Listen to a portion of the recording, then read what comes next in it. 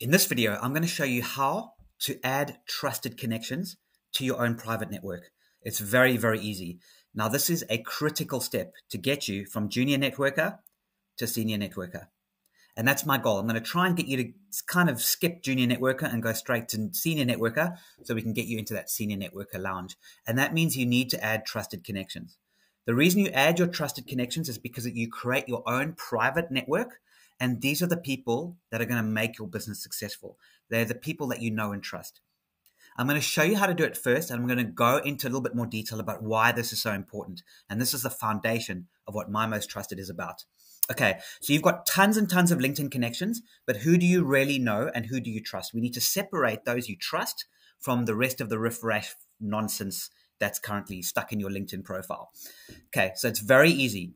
What you do is you go to the first degree profile of your LinkedIn connection. When you're on that profile, you then simply click the button over here called Add this person with their name as your trusted connection.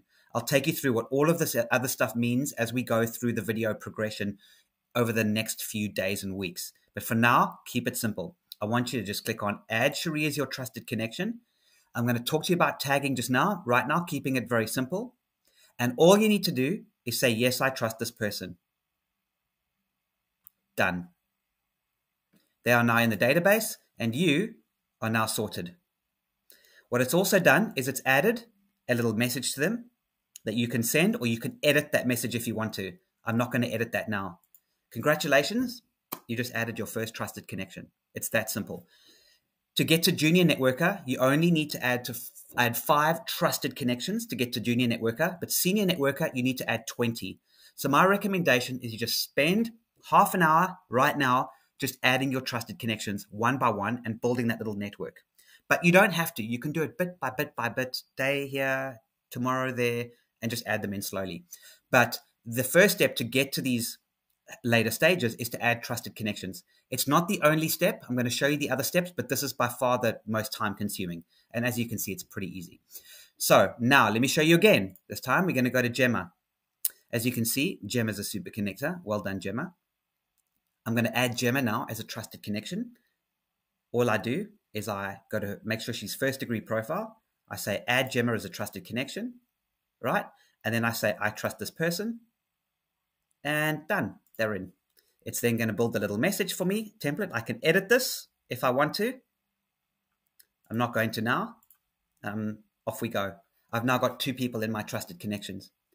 Now I'm going to show you something a little bit different and recommended.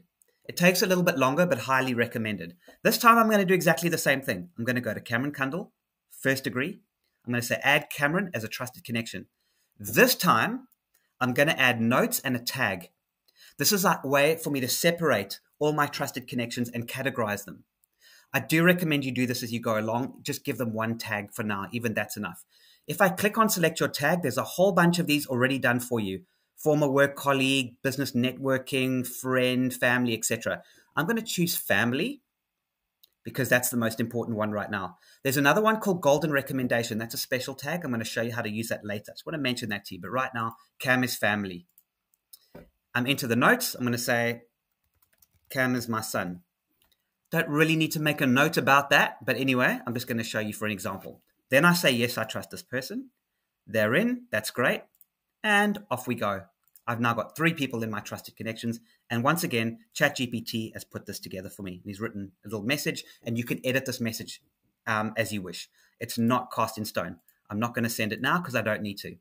That is literally all you need to do to add trusted connections. So to get to senior networker, you need 20 trusted connections. I recommend hitting 20 now, getting it done, and then I'm going to show you the next steps. Keep in mind the reason for doing this. Your private network your trusted connections, these are the people that make your business successful. They are the ones that are going to refer you. They're the ones you've got to nurture, keep in contact. I'm going to show you how to do that. All the tools are here within My Most Trusted to be able to do that. So we're going to help you nurture them. We're going to help you stay in touch, but really with those people that you know and touch, uh, know and trust. The final thing that people ask, they say to me, Scotty, what is a trusted connection? What defines a trusted connection? And the answer is this if you've met them, if you can see that they're a real person and not a bot, and you've had a conversation with them and they seem like the right kind of people and you and they're in business somewhere in the world that you're connected to, then they're a trusted connection. You do not have to trust them so much that you'd let them look after your children. It's not that degree of trust. There's another level of trust that you can add later if they really, really are trusted. And that's called the golden recommendation. I'm going to talk to you about that later.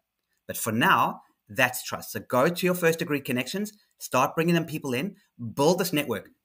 50 to 70% of all revenue from a small business comes from referrals. If you don't look after your referrals properly and you don't look after your inner circle, then you're going to find it very difficult to get those recommendations and get those referrals and introductions. I'm going to show you how to get those referral, referrals and introductions using MMT in later videos. But for now, just sit back, relax, and add those 20 people. Let's just get it done.